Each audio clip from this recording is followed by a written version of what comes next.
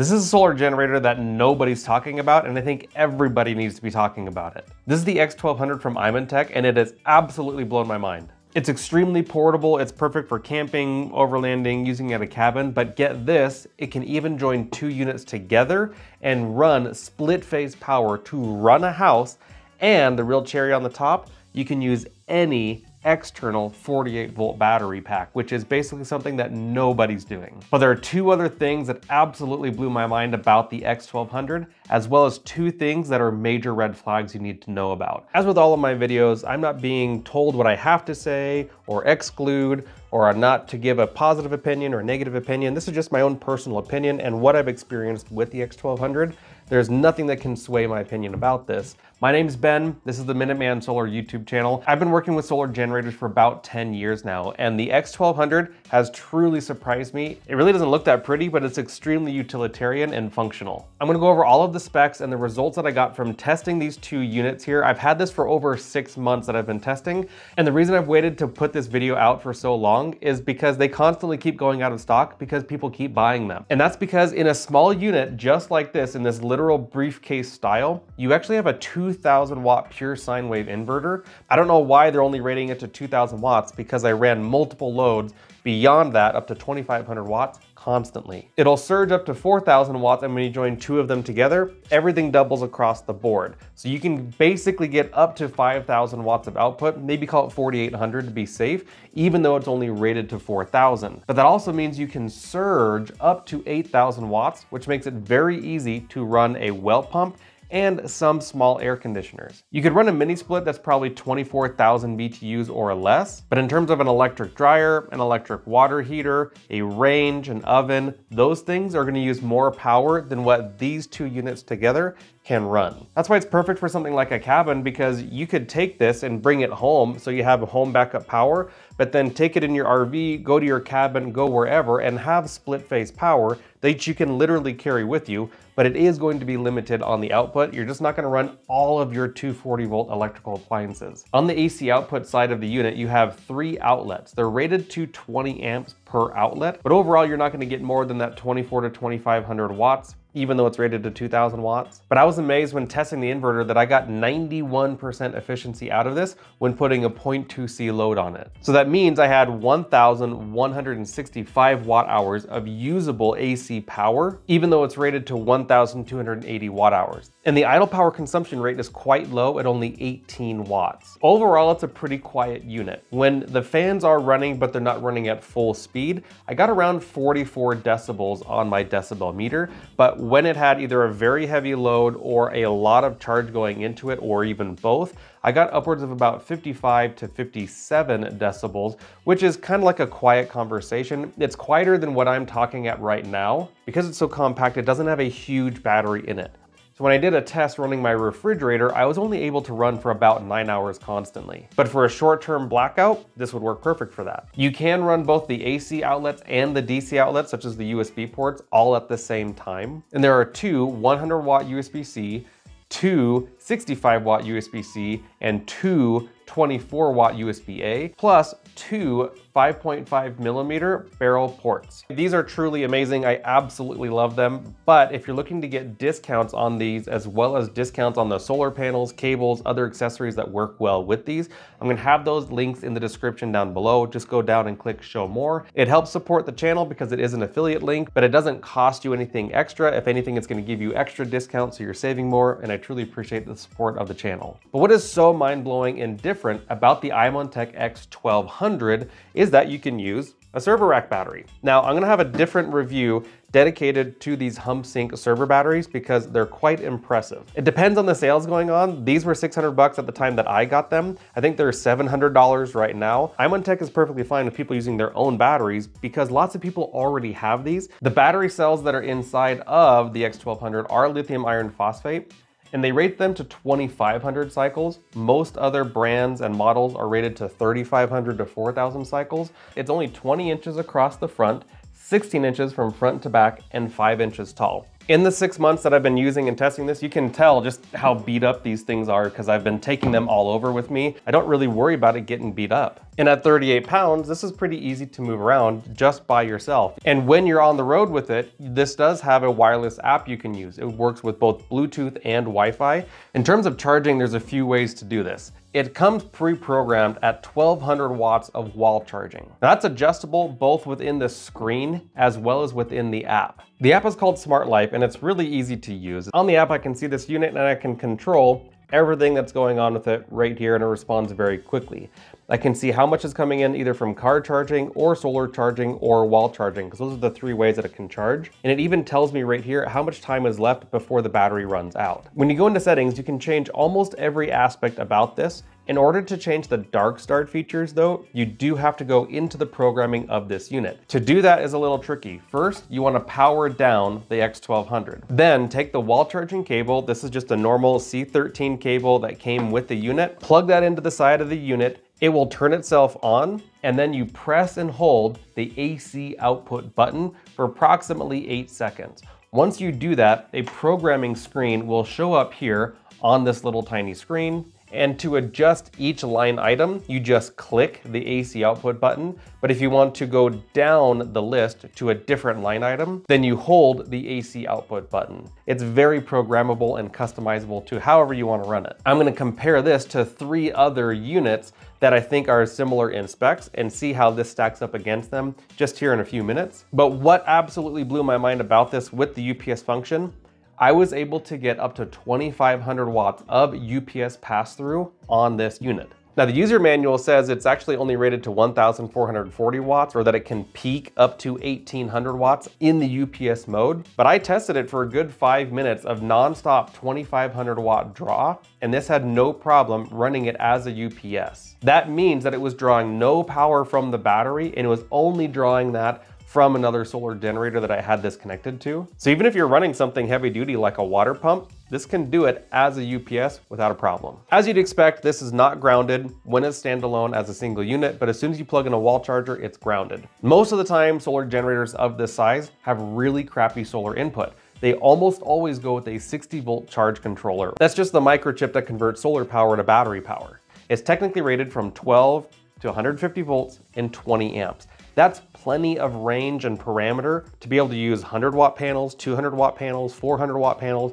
590 watt panels, whatever it is you want to use, this will work with pretty much any panel. But in general, the easiest way to get the 1200 watts of input is to take three or four 400 watt solar panels. Just check that the VOC or the open circuit voltage is 37 volts, right about there, because four of them in series is gonna be about 148 volts. A car charger is included with the unit, and so you can get anywhere from about 80 to 120 watts of input. Because it's an adjustable amount, you set how fast you want it to charge. AC input, DC input all at the same time, not a problem for the X1200. It's really just an easy unit to use. It's so simple Anybody who has no experience with a solar generator can figure this out. But here's one of the absolute best things about the X1200. If you've stayed with me in this video so far, please smash the like button. Dark start is when this runs down to 0% or 5%, whatever you set as the bottom of the state of charge.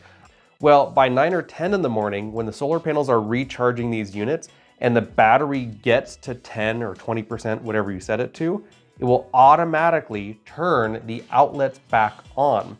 If I'm not home, this will continue running my fridge or whatever appliance I have plugged in completely automated. And you don't have to have Wi-Fi or an app or anything to do that. But the real kicker is the price. This thing is only $600 for everything that you're getting with a basically 2500 watt inverter, 1300 watt hours of battery capacity, 1200 watts of solar, meaning you can charge this in basically an hour, Dark Start, the ability to put two of these together for split face power, all of that for $600, there's nothing on the market that's coming close to that for 600 bucks. Now there are some other units that are comparable to this in that same price range that I'm gonna get to in just a second. The thing though with this is the customer service it's only okay. It's kind of hard to reach them during the day and I've had most interaction with them over email. So you're going to get help, it's just not gonna be super fast like you'd expect with a big brand company. And the other thing is this only has a two year warranty.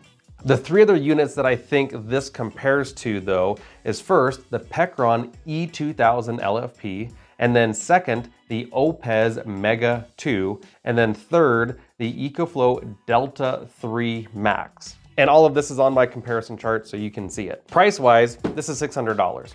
The E2000 LFP is $520 or $519 right now. The Mega 2 is $749 and the Delta 3 Max is $1,099. So this isn't the absolute cheapest, but it's darn near close to the cheapest, especially for the features that you get, it's really cheap. In terms of output capability, the X1200 is rated to 2000 watts, but I've been able to get 24 to 2500 watts without a problem. The E2000 LFP is rated to 2000 watts of output. The Mega 2 is rated to 2500 watts of output, and the Delta 3 Max is rated to 2400 watts. So they're all pretty much the same in terms of output capability, but the Delta 3 Max does have an X Boost feature, which will go up to 3.4 kilowatts. As I previously mentioned, the X1200 kind of lacks on battery capacity at only 1,280 watt hours. The E2000 LFP is bigger at 1,920 watt hours, and then both the Mega 2 and the Delta 3 Max have 2,048 watt hours. But in terms of battery expandability, none of them get even close to the X1200, especially for the fact that you can use whatever 48 volt batteries you want externally. They even include the adapter that you need. This is the battery connection here, and then it comes with a breaker and all you have to do is wire up the breaker with this battery connection and then it's got these battery terminal lugs right here so that it can go straight on to a server battery. I was able to wall charge this and this at the same time. Once you connect an X1200 to an external battery, it acts as just a simple external battery. There were no sparks or issues with the batteries connecting to each other, even though one was at 0% and the other was at 100%. What's so impressive is that the X1200 will go up to 1200 watts of solar input with a 150 volt charge controller.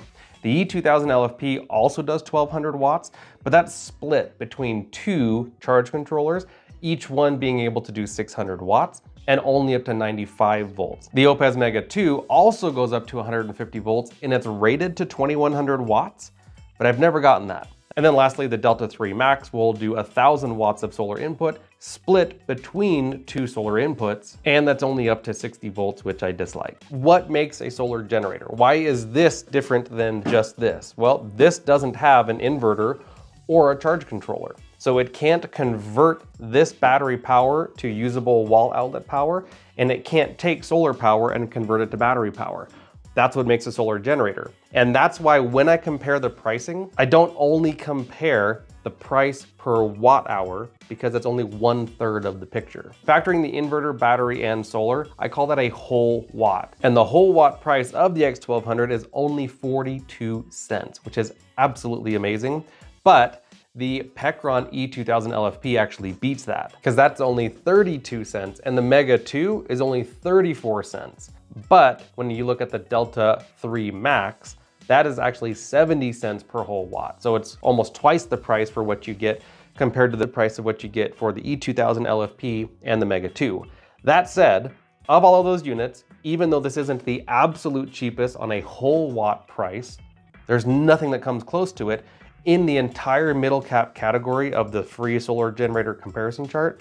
Nothing can do what these can do in terms of the split phase power, the expandability with the batteries, the good solar input being up to 150 volts, going up to 2500 watts, having the dark start capability, using external batteries, being able to program the system without having to use your phone. And when you're using this in split phase mode, there's this special connector that goes between the battery ports on the two units and will keep the units balanced. It's also skinny enough that you can sit this on top of your fridge, maybe even next to your fridge. It's so compact, it's easy to put in many different locations. When you use it in split phase mode, all you have to do is get this split phase 240 volt hub. It comes with two connectors that go into the AC output and it already includes the communication and actually ran a test where I used this 240 volt hub and the two X1200s in split phase, and I charged a large portion of my Delta Pro Ultra X from EcoFlow. I ran it at many different outputs and it had no problem below 5,000 watts total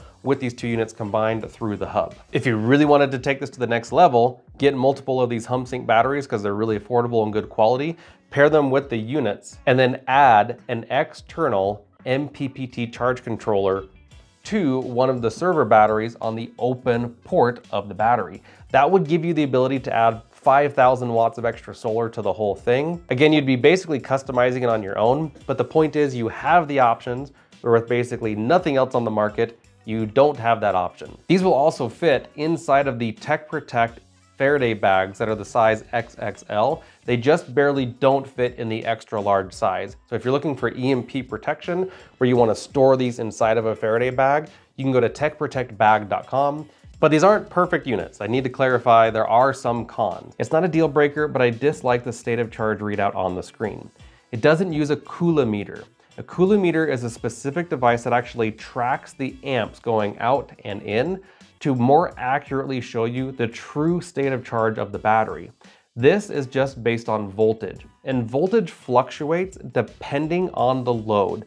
Depending on how you're running the system, you may not get a truly accurate readout on the battery percentage. The side doors on this are pretty interesting. There's two latches and you have to pull both of them down in order to get this to open up. It's on both sides, and this is how you get the ventilation. There's a fan on this side with an exhaust on this other side. If you forget to open these up and say you're just solar charging, you're gonna be building up heat in those batteries. Without these doors open, that hot air can't get out. There is a pretty strong plastic electronics smell when the fan is blowing pretty hard. It's not as strong the longer you use it. It kind of wears off eventually, but you can definitely smell it. The fan noise is pretty loud during heavy charging and heavy output, but that makes sense because it's a smaller unit. And then the last big gripe that I have is that it's only a two year warranty. Now you've probably had some questions while I've been doing this video and I want you to comment them down below. And I have a couple of questions myself. I wanna know how do they get their pricing so low with having so many options? Because EcoFlow, Bluetti, Jackery, even though they're fair priced units, most of them don't have those features. I also wanna know if they're gonna be making a bigger unit because this is such an amazing unit on its own. I would like to see if they can come up with something bigger, maybe something that has like a 5,000 watt inverter. Doesn't have to be as portable. If it's gonna be more powerful, I'd expect it to be bigger and less portable, it'd be heavier. But if there's a way to do a similar setup where you have a bigger inverter, split phase, dark start, all of that, probably better solar input because it's gonna be a bigger battery, but still be able to pair that with the server battery, then that's just a win-win in my opinion, because then people can buy really affordable batteries, have iMontek do all of the programming and special work with the inverter, a solar charge controller, everything, connect them together, and that takes people who have no experience in solar and gets them a very powerful system for a very affordable price. If you made it to the end of this video, I truly, truly appreciate it. And if you've been on my channel before, hopefully you'll subscribe.